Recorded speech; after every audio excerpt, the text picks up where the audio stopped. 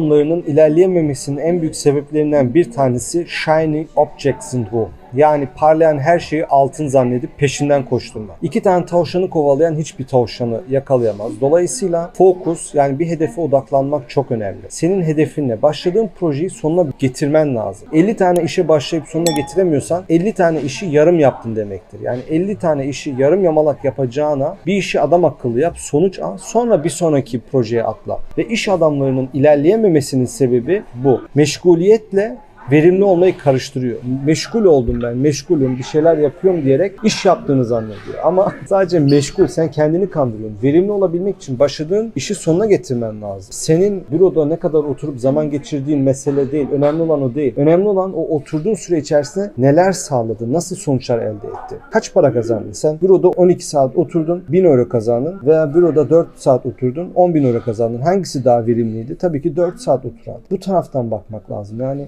iki tane tavşanın peşinden koşan hiçbir tavşanı yakalayamaz. Dolayısıyla iş adamlarının en büyük problemlerinden bir tanesi bir şeye odaklanamamak. İlk etapta yapılması gereken konu fokus. Bir konuya odaklanmak lazım ve başladığın işi sonuna getirmek lazım. Bu her kategoride mevcut. Mesela milyonluk işler yapıyorsundur. Bir arsa almışsındır. Bu arsayı mesela 1 milyon oraya aldın, 5 milyon oraya satacaksın. Ve bunu 3 ay içerisinde satmayı hedefliyorsun. Müşterisi hazır. Sen ama bu esnada başka bir iş fırsatı karşına çıktı. Mesela tamamen farklı bir sektörde ticaret. O işe de atladın. Ve iki işi aynı anda yaparken bu satış 3 ayda gerçekleşecek satış 4 yıla çıktı ve daha hala arsayı satamadı. Şimdi akıllı mı bu? Bu davranış akıllı değil. Bu davranış tamamen verimsiz bir davranış. Ne yaparsın? Akıllı davranış ne olurdu? 3 ay içerisinde bu arsayı satardın, 5 milyonu alırdın, 4 milyon karla yeni bir işe atlardın ve onu da birkaç ay içerisinde tamamlayıp kazancını arttırırdın. Ama sen bu şekilde 6-7 tane işi aynı anda yaparak çok meşgul olduğun için kendini çok verimli